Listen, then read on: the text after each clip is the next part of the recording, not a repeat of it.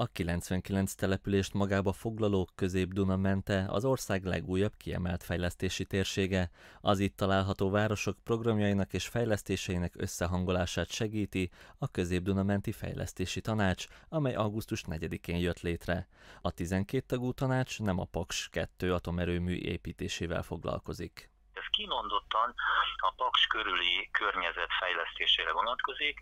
Gyakorlatilag 99 település érintett, ennek többsége közel kétharmada az Tolna megyei település, Bácskiskun megyéből 29 település van, és 8 esik még Fejér megyéből is ebbe a körbe. A Közép-Dunamenti Fejlesztési Tanács tagjai a három megyek közgyűlésének elnöke és egy-egy további képviselője, valamint hat minisztérium egy-egy delegáltja.